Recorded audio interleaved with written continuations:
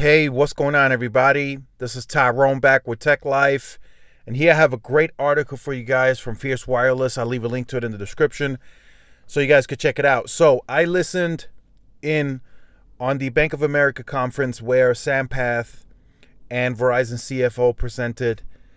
And what I was looking for for myself is to grow more confident in Verizon's consumer uh, wireless business. That's uh, Sampath is the CEO of the consumer wireless business, and that's what I was looking for. And the uh, the questions were actually great that that Bank of America was asking, but Sampath kept basically re- repeating the same thing over and over and over. And he kept saying we have a great value prop you know short for a proposition.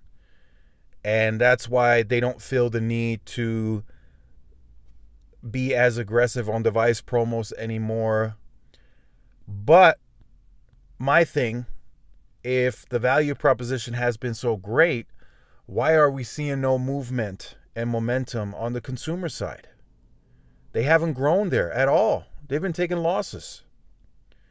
And the myPlan has now been in place for a few uh, few weeks, maybe even a, uh, more than a month. And I'm hearing it's not going to be any better for the third quarter. Now, the only positive takeaway from this event that I was able to pinpoint is what they're what what's being discussed in in this article. He's saying that he tracks weekly where the carrier deploys C-band and where it's not deployed. And in the areas where they have the C-band deployed, the churn is far lower. So it's less congestion, better experience for the consumer, so the people are sticking around. In areas where C-band is not yet deployed, he's he's hinting at churn being higher which I can see that 100%. C-band is a very, very, in my opinion, critical piece to Verizon's puzzle in terms of bringing a lot of uh, capacity on air.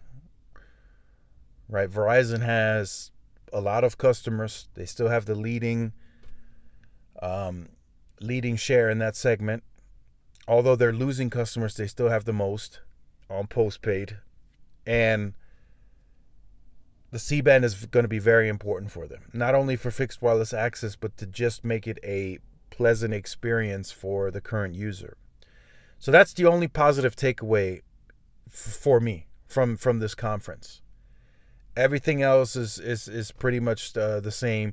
He did talk about in the first hundred days that he's been in, uh, been the CEO of the consumer group. Um, they've done a lot of restructuring. To me, that doesn't really sound like restructuring. I just think they went back to the basics. If you ask me, they brought back individual commission, um, which which is something that they should have never gotten rid of for the sales team. Um, they're they they now have a more regional based approach. I think that's that's basic, right? T-Mobile does that too, so I don't see anything different there. They're not doing anything innovative or out of the ordinary on that front. I still think their marketing lacks a lot to be desired.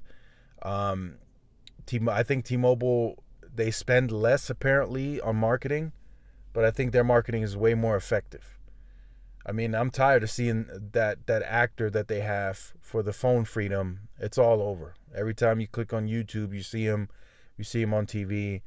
Can't really can't really say that for Verizon and less less AT and T. I haven't seen a commercial of theirs forever. So, um, it's a very interesting, right? Like I said, the only positive takeaway here is where the C band is deployed um, more extensively.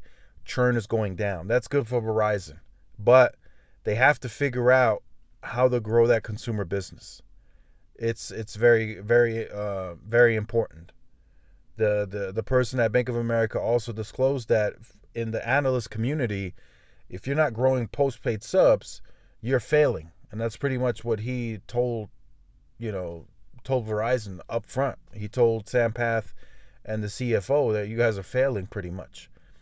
And you know they acknowledge that, and they say they have to get better at it. But then all I hear Sampath say is we have a great value prop. And I understand, you know, it's it's it's pretty good. You know, you you offer the NFL Sunday ticket.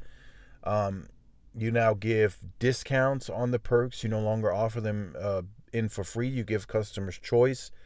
So I understand that, but it's not it's not anything that people are getting excited over. I don't see people busting down Verizon retail doors to get in and and want to because they want to choose perks, you know. So I think that they they have to have a leading introductory introductory offer that gets people calling the the the phone, right? Calling the queue, the customer service queue, getting or the sales team, getting into the stores, right? For T-Mobile, it's clearly phone freedom. That's what they're mainly advertising. They're not advertising their new plans much. They're not advertising anything else but that phone freedom. That's that's what they're pushing 24/7. And that's what gets people into the door and it's exceeding, you know, eh, their expectations and we'll talk about that in in a, in a different video because they also presented at Bank of America. So Verizon has a lot of work to do. The first 100 days really just getting back to the basics for Verizon and Sampath and now let's see if they can execute. If they continue taking losses in Q3 and Q4, I don't see that much of execution. I see that as as getting back to the drawing board. So make sure you guys stay tuned for more. Like, share, subscribe, follow my social media outlets. This is Tyrone with Tech Life. See y'all in the next one. Peace.